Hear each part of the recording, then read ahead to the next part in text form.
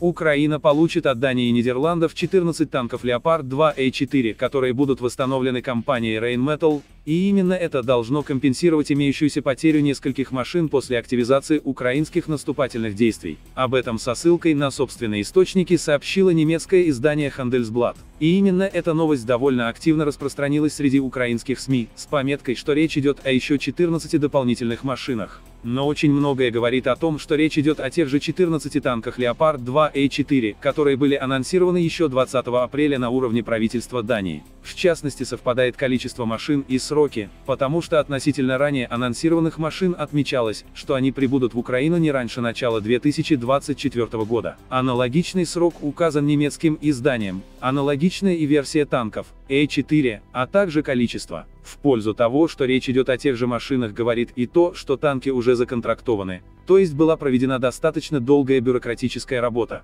Таким образом, очевидно, вряд ли решение Дании и Нидерландов было связано с тем, чтобы компенсировать потери. Более того, это решение принималось довольно давно, потому что даже до состояния объявления намерения проводится достаточно масштабный объем работ по подготовке такого решения. Особенно, когда он требует согласованных действий двух правительств и немецкого производителя вооружения. Но отметим, что надежда на то, что речь идет о еще 14 Leopard 2 A4 всегда остается. Но также напомним, что во время своего заявления в апреле в датском правительстве сообщили, что профинансируют восстановление и передачу в Украину около сотни танков Leopard 1, и 80 единиц должны быть переданы еще до конца 2023 года. При этом это количество также совпадает с объявленным количеством машин в Rheinmetall, которое составляет 88 танков.